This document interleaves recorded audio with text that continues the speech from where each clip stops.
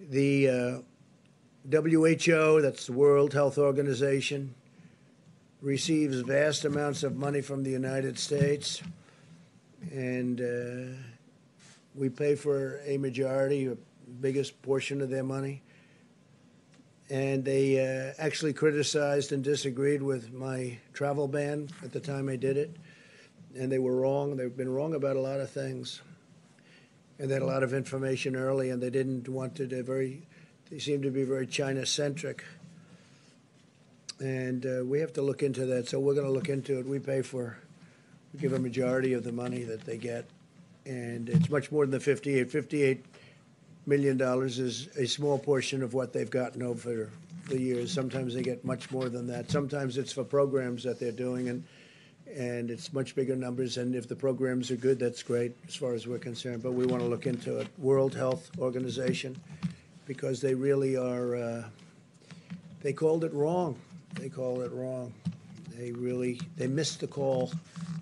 They could have called it months earlier. They would have known, and uh, they should have known, and they probably did know. So we'll be looking into that very carefully, and we're going to put a hold on money spent to the WHO.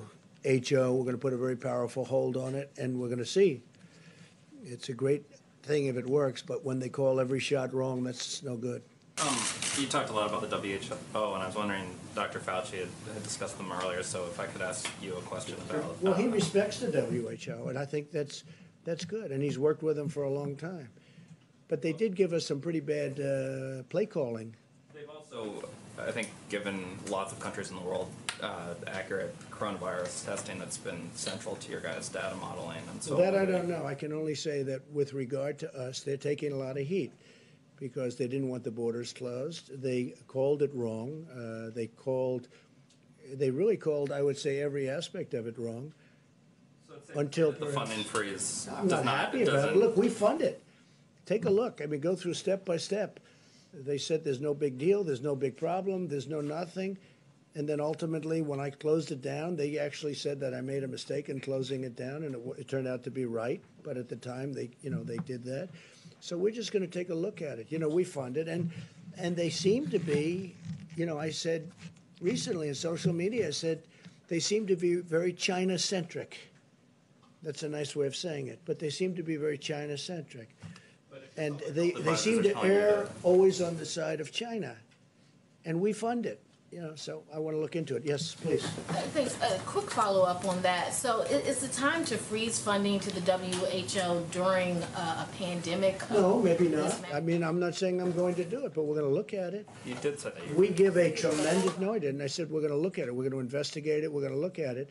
But we will look at ending funding. Yeah, to, because to, you know what? They called it wrong, and if you look back over the years, even they're very much uh, everything seems to be very biased toward China.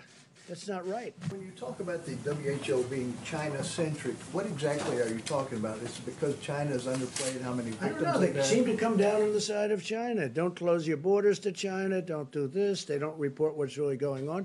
They didn't see it, and yet they were there. They didn't see what was going on in Wuhan. They didn't see it. How do you not see it? They didn't see it. They didn't report it. If they did see it, they must have seen it, but they